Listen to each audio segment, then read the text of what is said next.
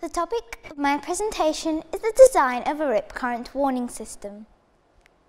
A rip current is a fast-flowing body of water that travels away from the shore through the surf zone.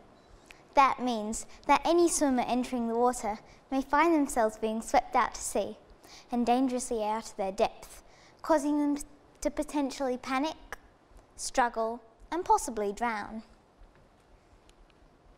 This slide shows a photo of Coffs Harbour. You can see the calm water, which may look inviting to swimmers. However, the calm water is a rip. So far in this presentation, hang a second, Surf Life Saving states that two out of three people mistakenly think they can identify a rip. Now, ladies and gentlemen, let me now present to you a possible solution. I considered the following for my design. The system must have reliable operation, a long system life, must be environmentally friendly to humans, animals and plants, and it must have a simple design, installation, repair and replacement. The basic components of the system are a flotation device or buoy, PV cells, a battery, a digital controller, a coiled elasticated, hang on a second, a coiled control cable, an elasticated cable, and an anchor or secure fixing.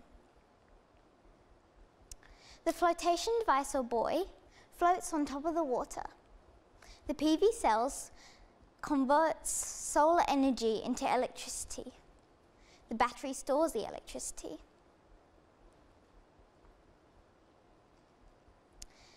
The digital controller regulates the amount of power transmitted through the system. The control cable, the control cable measures the water velocity and the electrical and the elasticated cable accommodates the change in water level, high and low. You can see on the slide the GPS or the status test. This allows people to remotely track where the system is and see whether it is working properly. The control philosophy of the system is based on the Ohm's law, that V equals I times R. V is the battery, I is the current, and R is the cable, the control cable, and its surroundings, which is water.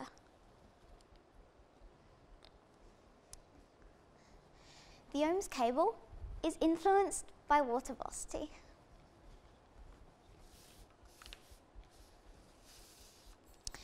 Total resistance equals cable resistance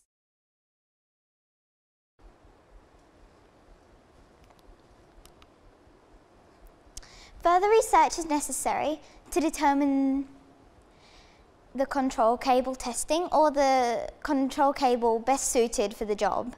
This includes length, diameter and the materials. You also need the controller software and the coding and even the spacing of systems, as reliability and accuracy may be improved if multiple systems were linked together. In summary, this presentation has discussed the problem of rip currents, the design considerations for my system, the basic components, and the control philosophy. I will end this presentation with a quote that I think is really relevant. Just because it's, just because it's difficult, it does not mean we shouldn't try. Thank you. This is the end of my presentation. Thank you for listening.